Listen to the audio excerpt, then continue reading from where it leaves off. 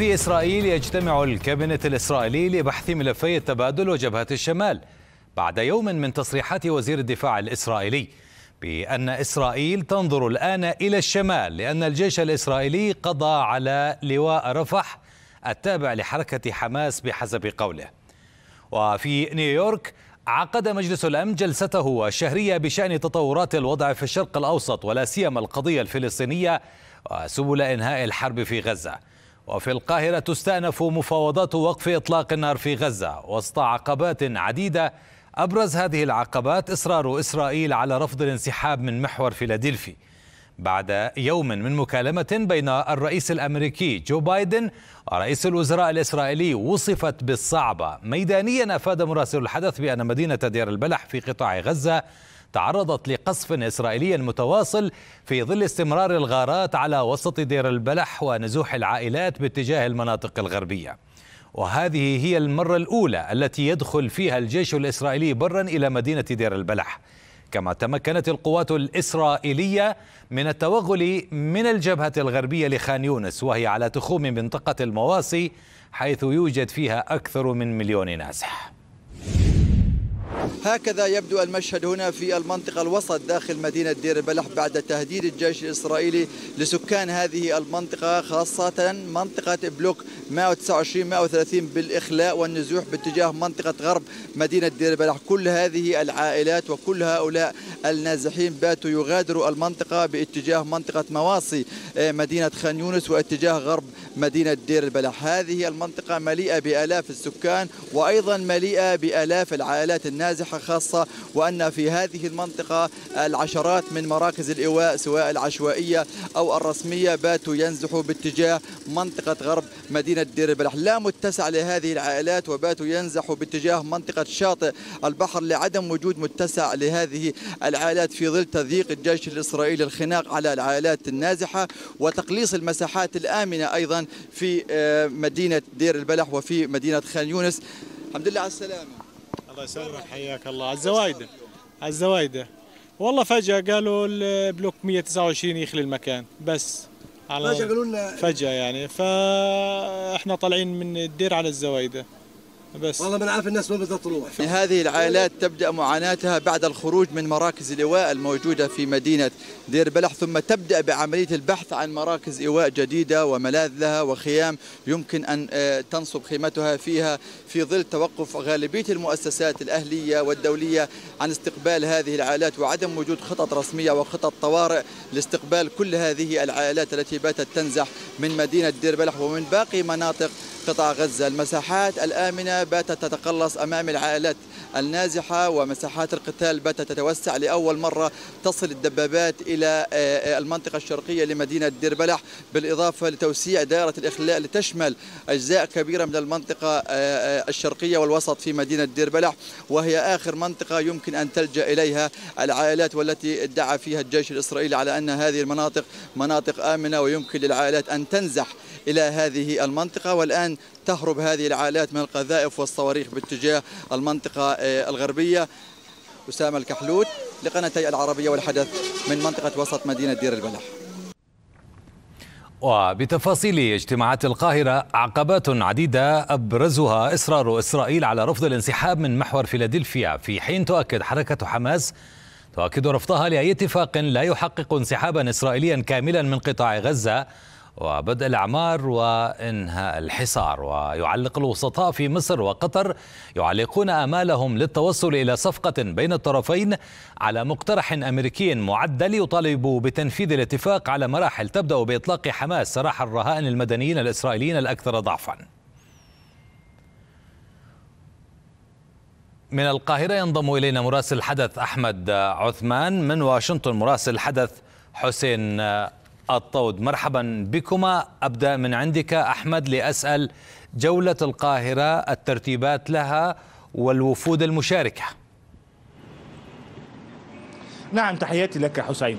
أهلا وسهلا. بداية بداية حتى الآن لم يكن هناك أي إشارة رسمية آه، أو بيانات رسمية من مصر حول انطلاق هذه آه، الجولة أو هذه الزيارة. المعلومات الأولية كانت قد أشارت بالفعل بأنها من المفترض أن تبدأ الخميس والجمعة.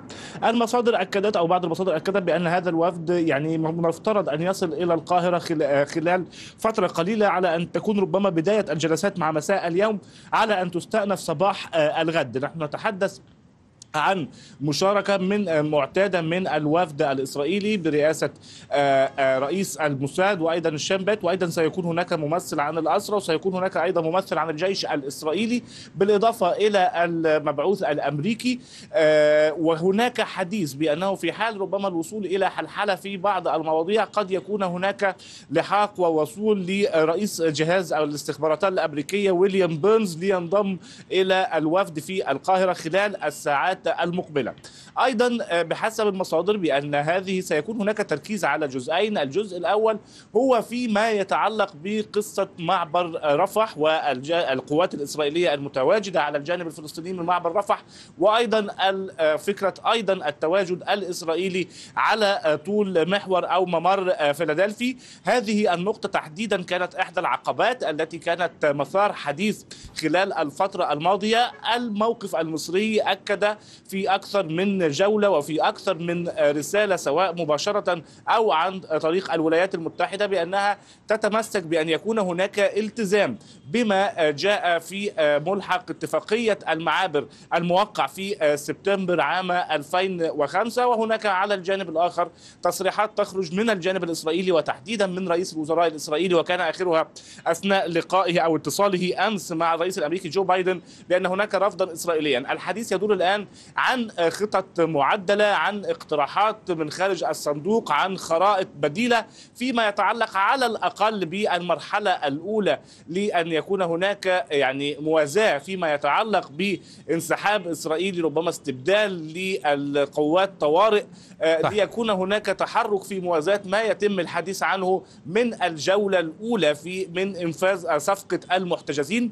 نحن نتحدث عن مواقف متباينة ونتحدث عن محاولات أمريكية لتقريب وجهات النظر وسد الفجوات وهو المصطلح الذي استخدم كثيرا خلال الفترة الماضية في محاولة للوصول إلى الصفقة أو الجولة الأولى نجاح الجولة الأولى من هذه الصفقة. دعني أحمد أسأل المرحلة حسين- الأولى من هذه الصفقة. طيب دعني أحمد أسأل حسين عن مسألة المحاولات الأمريكية لتقريب وجهات النظر، حسين ما جديد ما تعمل عليه واشنطن فيما يخص صفقة أو على الأقل وقف إطلاق النار المؤقت؟ حسين رغم أن الأمل كما بات يوسف هنا آه، يتبدد ويضعف لكنه ما زال منعقدا على هذه المحادثات المقررة في القاهرة.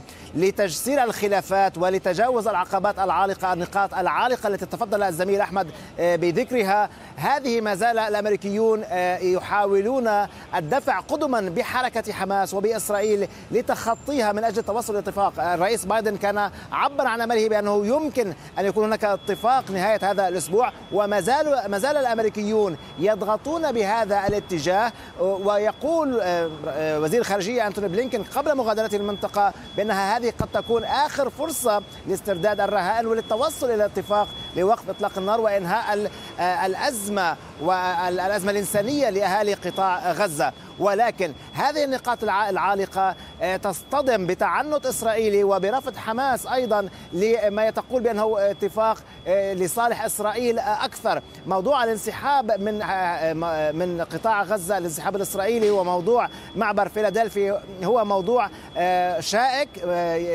يتوقف عنده الطرفان الطرفان. إضافة طبعا كما نعرف موضوع تبادل السجناء من المحتجزين لدى حركة حماس مع المعتقلين الفلسطينيين في السجون الإسرائيلية. هذا الأمر لن يكون سهلا ولكن ما نعرفه من خلال التسريبات ومن خلال آه، ما نقرأه عن آه، مسؤولين أمريكيين بأن الولايات المتحدة حتى الآن رغم أن الأمل ضعيف ما زالت تدفع من أجل إقناع الطرفين لتحقيق آه، نتيجة إيجابية للسياسة الخارجية لإدارة الرئيس بايدن التي تبحث عن إنجاز في السياسة الخارجية وترى بأن التوصل إلى اتفاق سيكون أهم إنجازاتها الخارجية في هذه المرحلة خاصة فيما يتعلق بالضغوط الداخلية التي تواجهها إدارة بايدن. إن كنا نتحدث عن الضغوط من داخل الحزب الديمقراطي ومن خلال المظاهرات التي نراها أو من الجمهوريين ومن دونالد ترامب الذين يحاولون الضغط على الإدارة الأمريكية ويصفونها بأنها إدارة فاشلة على المستوى الخارجيه، دونالد ترامب يقرر ما يقوله دائما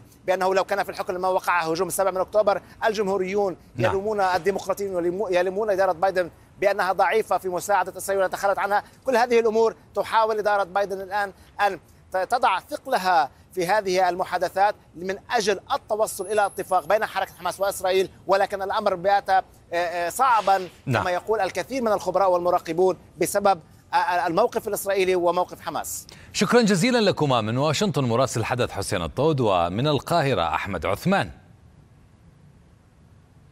في نيويورك حث منسق عملية السلام في الشرق الأوسط تور وينسلاند. جميع الأطراف على سرعة التوصل إلى اتفاق لوقف إطلاق النار في غزة فورا. مشيرا خلال كلمة في جلسة لمجلس الأمن إلى أن الاتفاق بات ضروريا لعدم تفجر الوضع في المنطقة. مع كل هذه الاتجاهات السلبية وبعد أكثر من 300 يوم من الحرب في غزة أصبحنا عند نقطة تحول في الشرق الأوسط. إن التوصل إلى اتفاق لوقف إطلاق النار وإطلاق سراح الرهائن في غزة أمر حتمي الآن من أجل السلام والأمن الإقليمي. وقد واصلت التأكيد على هذه الرسالة دعما للتهدئة الإقليمية في المناقشات مع الأطراف المعنية والدول الأعضاء في المنطقة بما في ذلك لبنان قطر ومصر. وأشيد بالوسطاء مصر وقطر والولايات المتحدة على جهودهم الدؤوبة الم- المتواصلة في الدوحة والقاهرة هذا الأسبوع وأحث الطرفين على التوصل إلى اتفاق أو صفقة في الأيام المقبلة. من جهتها أبلغت المندوبة الأمريكية لدى الأمم المتحدة لينسا توماس غرينفيلد مجلس الأمن بأن اتفاق وقف إطلاق النار في غزة وإطلاق سراح الرهائن يلوح في الأفق الآن. وحثت أعضاء مجلس الأمن على مواصلة إرسال رسائل قوية إلى الجهات الفاعلة الأخرى في المنطقة لتجنب الإجراءات التي قد تعرقل إتمام هذا الاتفاق. الولايات المتحدة تدعم دعما راسخا أمن إسرائيل وقد عمل لتعزيز مناقشات بشأن صفقة إطلاق سراح الرهائن ووقف إطلاق النار شامل والأمر الآن يلوح في الأفق. ولا ينبغي لأي طرف أن يتخذ إجراءات تقوض من المفاوضات الجارية. رئيس الوزراء أكد لوزير الخارجية الأمريكي أن حماس قبلت المقترح لسد الفجوات الذي تقدمت به الولايات المتحدة وقطر ومصر الأسبوع الماضي والمقترح الانتقالي هذا به عناصر تتسق مع ما طرحه رئيس بايدن في الرابع ولا في مايو من 24 والذي اعتمده المجلس في القرار 2735 وهذا يستند إلى مجال اتفاق في مباحثات الدوحة الأسبوع الماضي.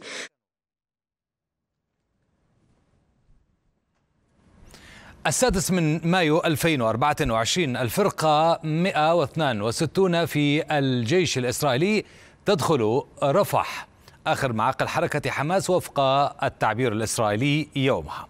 وفي خلال شهر ونصف الشهر يروي مسؤول عسكري إسرائيلي كبير لصحيفة واشنطن بوست أن الفرقة تتقدم بشكل كبير نحو تحقيق ثلاثة أهداف.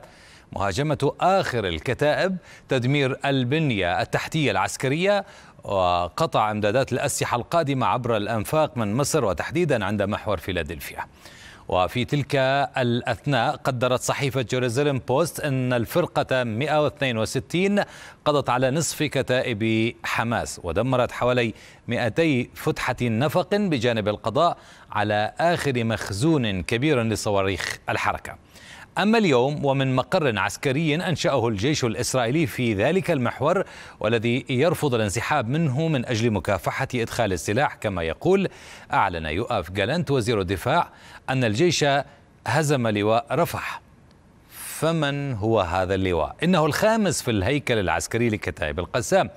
قائد هذا اللواء محمد شبانة. مواقع نشاطه الرئيسة رفح والمناطق المحيطة كمخيمي يبنى والشابورة للاجئين. يضم أربعة كتائب الكتيبة أو أربع كتائب الكتيبة الشرقية كتيبة خالد بن الوليد كتيبة شابورة وكتيبة النخبة. وإلى جانب لواء رفح تمتلك كتائب القسام أربعة ألوية قتالية موزعة على محافظات قطاع غزة لواء الشمال لواء غزة الوسطى ولواء خان يونس. لدى الألوية تلك 24 كتيبة. يقول أبو عبيدة الناطق باسم حركة حماس مؤكدا في تصريح أدلى به الشهر الفائت أن جميعها يقاتل من أقصى بيت حانون شمالا إلى رفح جنوبا. أما لدى الجيش الإسرائيلي فالواقع مختلف إذ أكد بيان عسكري بعد كلام أبو عبيدة تدمير معظم الكتائب الأربع والعشرين تلك باستثناء ثلاث كتائب متبقية في رفح.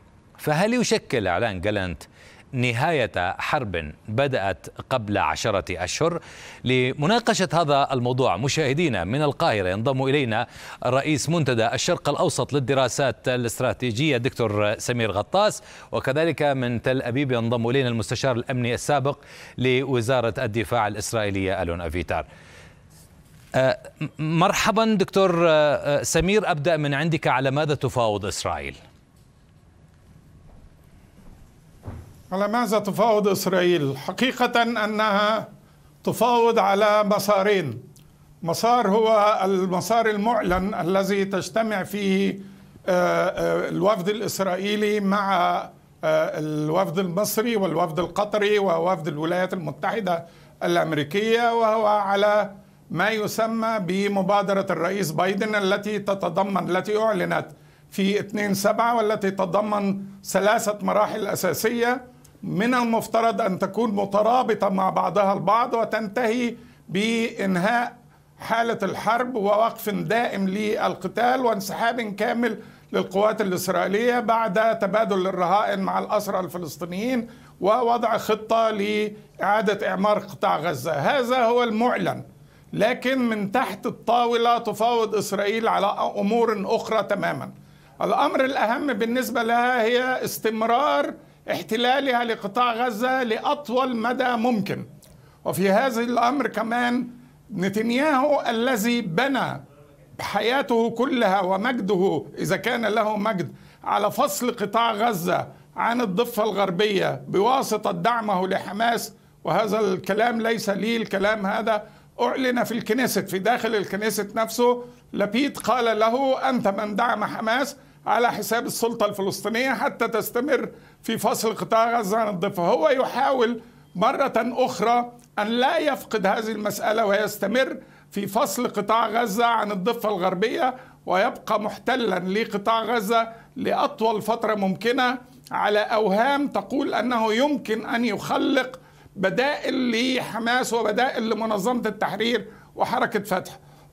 وهذه صح قد تكون من أه من أصعب مهامه لأنه قد لا يعيش حتى لا يعيش عمريا يعني لا يعيش سياسيا حتى يرى هذا الأمر. أعتقد أنه آه، التصريحات التي أدلى بها مدير أمان آه، أمس وقال أنه يتحمل المسؤولية الأساسية ولبيد رئيس الوزراء السابق قال أن على نتنياهو على قادة الجيش أيضا أن يحذو حذو مدير الاستخبارات العسكرية الإسرائيلية. أمان الذي اعتزل وقال انسحب وقال اعترف أنه يتحمل المسؤولية طيب. نتنياهو أيضا إما أن يعترف حتى لو اعترف فإنه يجب أن يحاكم على كثير من الجرائم قبل الحرب وبعدها فإنه لن يرى الأوهام التي يحاول أن يفرضها على قطاع غزة طيب. من تحت الطاولة كما أشرت كما أن هذا بالنسبة للجانب الإسرائيلي دكتور سمير غطاس. اسمح لي الآن سيد ألون. سآتي إليك يا دكتور سآتي إليك. آه، سيد ألون على ماذا يعول نتنياهو؟ ما هي مراهناته؟ يبدو بأن جولة بلينكن لم تحقق ما كانت تطمح إليه إدارة بايدن. مساء الخير لجميع أذيني زيارة بلينكن أهلا. لها أهمية من كم نواحي. الناحية الأولى هي كمان قبال الجبهة الإيرانية وتهدي ووصول إلى آه، آه، استقرار نسبي أو منع تصعيد في في آه، في هذه الجبهة بدون علاقة مباشرة لمفاوضات على صفقة أكيد كله مربوط لكله بس نهائيا كل المواضيع مربوطين بس نهائيا أذن زيارة بلينكن لها أهمية من ناحية الإيرانيين من ناحية إيران. من ناحية نتنياهو أذني نتنياهو ما سكر الباب. رغم كل الإشاعات ما سكر الباب بالنسبة لصفقة. هو راح يستمر المفاوضات. إسرائيل هي شريكة في المفاوضات. حماس ما شاركت بالمفاوضات. العروس ما يريد الزواج. حماس هي خارج من اللعب أو موجودة خارج من من الطاولة. بس من ناحية من ناحية نتنياهو المفاوضات هم موجودين على الطاوله وفي كمان من ناحيته نية لاستمرار المحادثات بس بأي شروط وفي نفس الوقت من ناحية نتنياهو في كمان أوامر للجيش الإسرائيلي عشان يستمر بالتكبير والتقوية وتعزيز الدرت أو الضغوط العسكرية داخل القطاع. طيب. إحنا شايفين اليوم كمان مش بس محادثات مثلثة مع الأمريكان ومصر بالنسبة للترتيبات الأمنية في محور فيلادلفيا في كمان مناورات عسكرية داخل القطاع وجهود لتقسيم القطاع كمان بين المناطق. ونهائيا الاكيد الوجود واستمرار المناورات العسكرية داخل القطاع هم كوسيلة ضغط على حماس. نهائيا يحيى سنوار يبكي لحاله بدون أي قوات تحت أمره. اظن هي أحد من الأهداف. طيب. باعتبارك أتيت على أن العروس التي لا تريد الزواج. ماذا لو انقلبت الصورة وقلنا بأن حماس العريس والطرف الآخر هو العروس الذي لا يريد الزواج باعتبار أن العريس لم يجد شريكة حياته التي من الممكن أن تؤدي له ويبنيان سلاما حقيقيا يا سيد ألون. في في وفد إسرائيلي. كان وفد إسرائيلي في الدوحة وراح يكون كمان وفد إسرائيلي في القاهرة وإذا المفاوضات راح تستمر الأسبوع الجاي يكون وفد إسرائيلي. بس ما في وفد من حماس موجودين برا. معناته لسه من ناحية حماس هذا مش حل طوارئ. حماس لا تريد حماس, حماس لا تريد التفاوض يا دكتور سمير غطاس؟ لا صحيح لم تكن حماس هذا خطأ شائع. يرتكبه الكثيرين انه حماس عفوا لم حماس لم تحضر المفاوضات. حماس لم تحضر في أي جولة من الجولات الأخرى على الطاولة. هذا أمر مبتوت فيه ومعروف تماما. حماس ينقل لها ما يتم الاتفاق عليه وتقول رأيها ايجابا أو سلبا. لكن حماس لم تكن في أي جولة من الجولات السابقة موجودة على الطاولة. تكون موجودة في المحيط لكنها لم تجلس على الطاولة في أي فترة من الفترات لا في القاهرة ولا في الدوحة ولا في روما ولا في باريس قبلها. وبالتالي الترديد هذه النغمة هو أمر شائع خاطئ وشائع. علينا أن نقول اولا يعني بصرف النظر عن حماس لأنه حماس أصدرت أرسلت للقاهرة قالت لها رغم اعتراضنا على التدخلات التي يطرحها نتنياهو لعرقلة التوصل إلى صفقه لكننا موجودين في المفاوضات. بمعنى أنهم حاضرون وأنه سوف يستشاروا وسوف تنقل لهم وجهات النظر وهم في النهاية من يقرر ما إذا كانت الصفقة تمر أو لا، السنوار هو صاحب المفاتيح وهو كما كان في القبل ليس هناك أي جديد، السنوار هو الذي يحتفظ بمفاتيح طيب. الرهائن عنده هو الذي يقرر ما إذا كانت الصفقة ولكن يا دكتور سمير إذا سمحت لي نعود مرة جوله لا سنعود مرة ثانية وثالثة ورابعة وخامسة كما تشاء. ولكن أريد أن أعرف الجانب الأمريكي سريعا دكتور بنصف دقيقة لم يضغط بالشكل الكافي على حكومة بنيامين نتنياهو خلال هذه الزيارة دكتور سمير؟ يعني في حدود العلاقات الأمريكية الإسرائيلية هناك حساسية معروفة في العلاقة ما بين أمريكا وما بين إسرائيل. تمارس لم تمارس ضغطا إلا في حالات نادرة. أشير هنا مثلا إلى أنه يعني في عندما بدأت مؤتمر السلام في مدريد. كان شمير هو رئيس الوزراء وشمير قال لن نذهب إلى هذا المؤتمر. حجبت الولايات المتحدة 8 مليار دولار كانت ستوجهها إلى إسرائيل. شمير سقط وجاء بعده رابين مباشرة. إذا أرادت أمريكا وأكرر ولدينا دراسات عديدة عن هذه الأمر. إذا أرادت أمريكا فإنها تستطيع أن تؤثر حتى على تعيين ضباط في القوات المسلحة ولدي في الجيش الإسرائيلي ولدي أسماء وتواريخ لمن يريد. إذا أرادت أمريكا أن تتدخل فهي تستطيع أن تتدخل وفي النهاية بأكثر وأكثر. كانت إسرائيل محمية والآن أو كانت يعني لها علاقات طيب. مميزة مع أمريكا. سيد ألون الآن. ودرس أبريل الماضي يؤكد أنها صارت أكثر محمية أمريكية إذا طيب. أرادت أمريكا ولكن الإرادة الأمريكية هي الغالبة طيب. نتيجة حسابات كثيرة. هناك مثلا الانتخابات الأخيرة. طيب. هناك رأي أمريكي من محللين وعسكريين وكذلك استراتيجيين يقولون بأن العقبة أمام وقف إطلاق النار هو نتنياهو.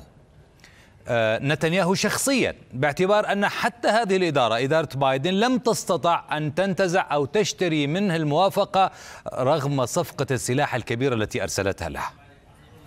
لا يريد السلام.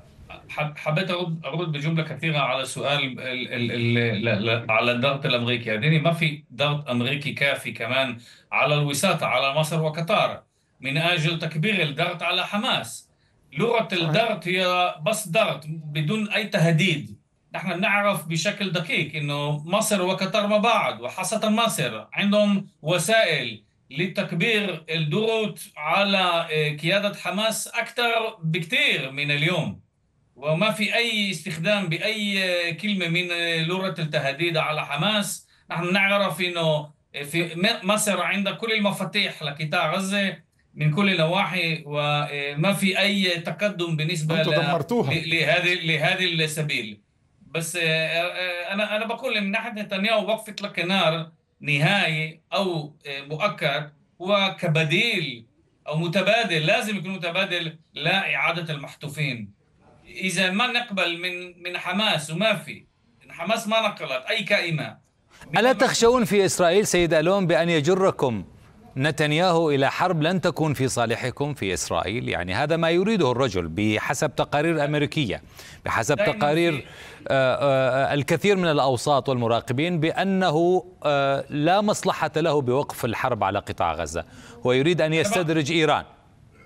أنا بعرف هذه الفكرة وأنا بقول إنه في موافقة عامة داخل إسرائيل بالنسبة لإعادة المحتوفين بس بأي شرط.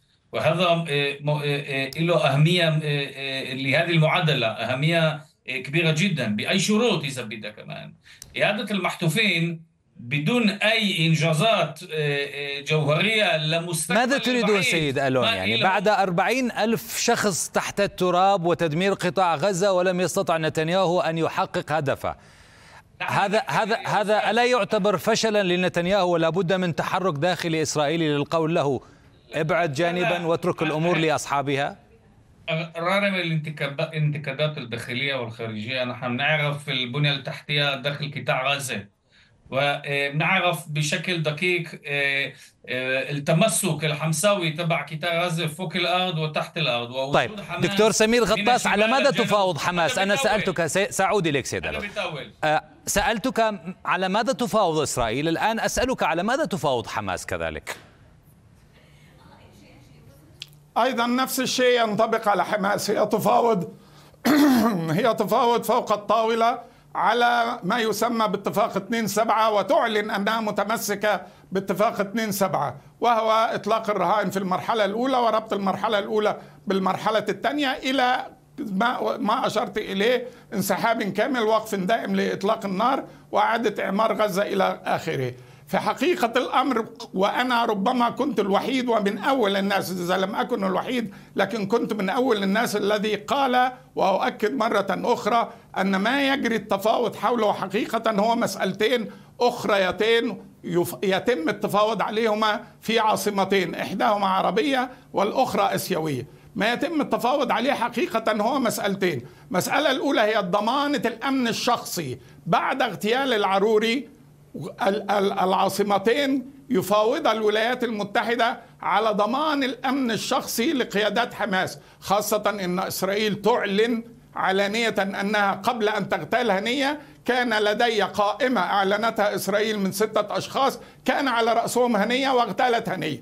وبالتالي إسرائيل حماس تفاوض أيضا على الأمن الشخصي لقيادتها. الأهم من ذلك أو بالتوازي معه تفاوض على ما يسمى باليوم الثاني. بالله بالله يا دكتور سمير. دكتور سمير دكتور سمير بالله. هذا هذا معقول من الممكن ان يعني ان يمر على عقل الإنسان تفاوض على حماية قادتها والقطاع ذهب وهؤلاء المدنيون ذهبوا إلى هذا الحد هكذا تفكيرهم؟